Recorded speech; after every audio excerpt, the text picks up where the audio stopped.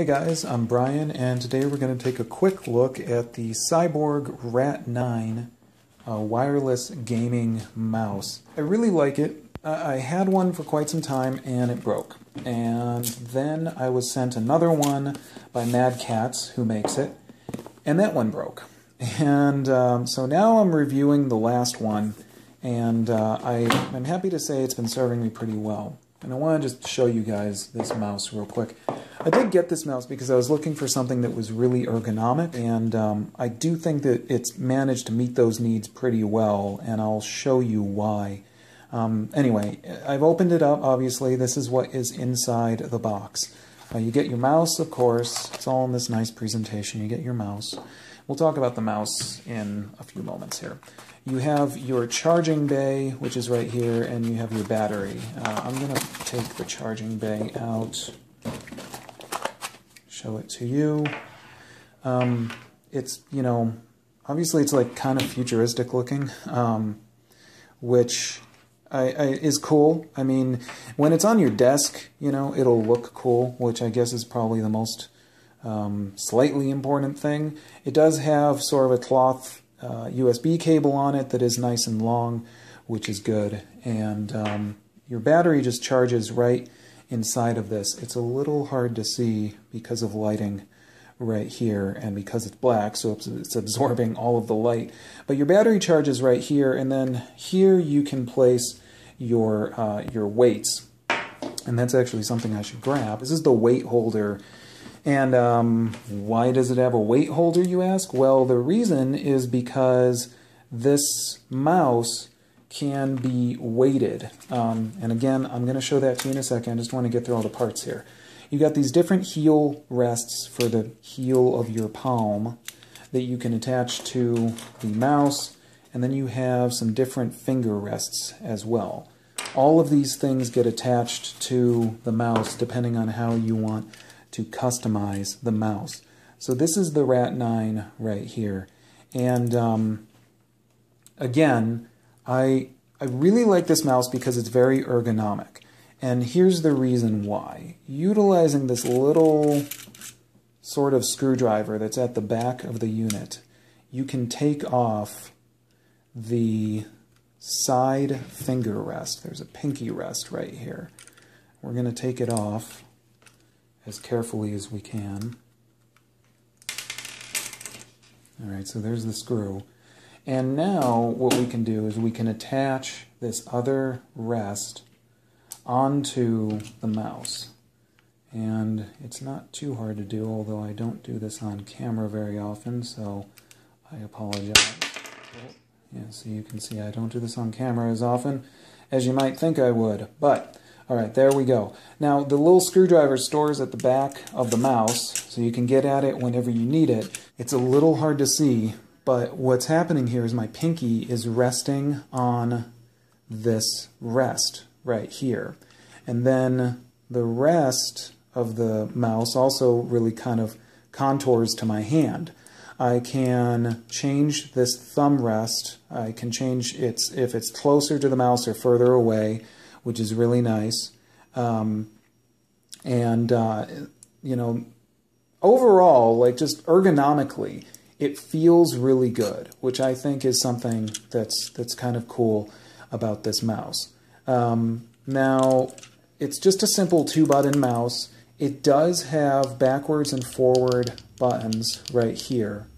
And then you have this thumb wheel. And finally, you have a sniper button. Now, all this stuff is programmable through the Cyborg software, which you need to install to use this on your computer. And uh, what I did in my case is I set the thumb wheel to be a number of page up and page down keys, just as if I were pressing those on my keyboard. And that allows me to just quickly scroll up and down through documents, web pages, things like that. Um, because that was a function I really liked on my Logitech mouse is I had this free wheel on my scroll wheel and I could flick it and just scroll through documents. When I went to the Rat9, I wanted something that would replace that, and um, that was about the only option that I could find was editing that thumb wheel. The sniper button will basically slow down the movement of your mouse greatly Um, and that's going to kind of depend. I mean, I don't really use this for gaming. I should let you know. I use this entirely for uh, heavy video and audio work, and that's why I got it again because I hold a mouse probably 12 hours a day, and I wanted something that contoured really well to my hand, and this one did it. However, that sniper button is pretty handy because it's really nice to get fluid motion, slow motion when I'm working in Photoshop and things like that that require really finite detail uh, to what it is that I'm doing. So that's kind of cool. Again, simple two button mouse. The buttons are kind of separated and spread out, so it feels pretty natural for your fingers. The scroll wheel is nice. It's rubberized. It is clicky, so it can be a third button for doing things like opening links and new tabs in a browser and stuff like that. And then you have a couple different buttons right here. This one that's in the middle, as you can see as I click it, this light on the left-hand side of the mouse goes up and down. This is a sensitivity meter. You can set different sensitivity settings on the mouse depending on how sensitive you want the mouse to be. And then you have mode selectors right here, and there's three different modes. As you can see, there's three different colors, three different modes. That way you can switch between different modes, maybe one for gaming, one for normal usage, one for video editing, or something like that. Um, so, you know, overall, it feels really nice, and it's pretty customizable. Uh, there's one more little bit of customization here, and that is, as I say, the heel rest. Now, this can slide off with this little button that's on the side of it, and you can take it off. Underneath there, you're going to find the battery, and the battery just simply slide, uh, slides out. Slide it back in. You're going to want to keep the battery, one battery charging at all times because the battery life in this mouse is not great. I think it works out to maybe five or six hours, and that depends on how much you're using it in the long run. Um, so that's just something to keep in mind, but you've always got one charging, so you should be good. Uh, as I say, you can remove that, uh, that heel rest, that palm rest, and then you can place a new one on. Again, you can tell I don't do this on camera very often. It'll click on, and as you can see, I can adjust the distance of it on the mouse. So depending on how far up or far back you want it to be, you can adjust that. Kind of depends on your hand, uh, how big your hand is. Obviously, I have big hands, so I like to be able to adjust this all the way to the back.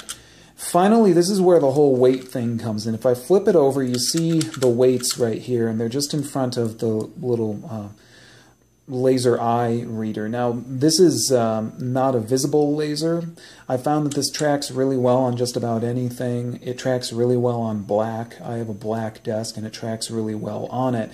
Um, I have wondered from time to time if it gets dirty too easily because I had to clean it off a lot and I had to clean these pads off on the bottom many, many times. Your power button is right there as well. Uh, anyway, I'm sorry, moving on to the weights. So the weights, this is another thing that attracted me to this mouse. The weights uh, allow you to change how much the mouse weighs. You can take off this little um, black retainer right here and then take off all of the weights. Each of these is, I think, somewhere around a gram a piece. So you can basically add or subtract weight from this mouse, which I, think is pretty cool because uh, it's well known that the weight of your mouse really has a tendency to contribute to fatigue.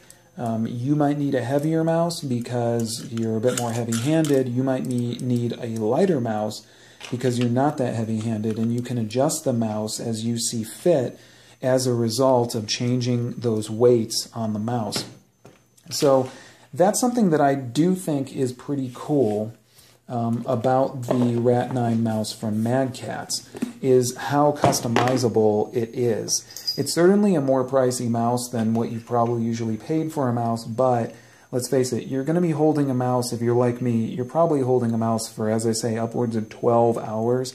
And, um, you know, if, if that's the case, you should get something good.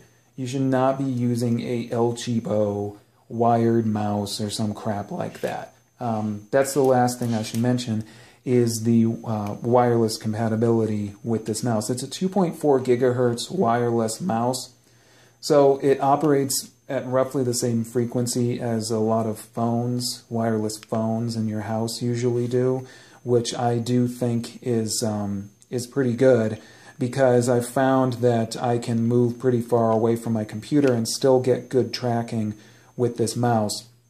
Um, so I have to say that the wireless functionality of this mouse is very impressive overall, and that wireless receiver slash charger does its job really well. And I mean, again, it looks cool.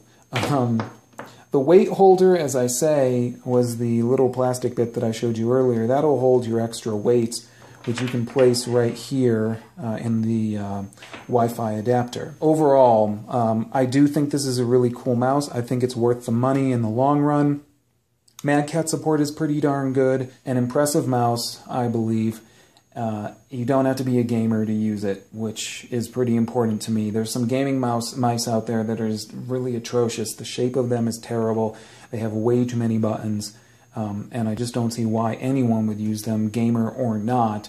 And because they're not really that ergonomic, and the whole point of an ergonomic mouse, a gaming mouse, is it should be able to, um, you know, fit itself to your hand a little bit.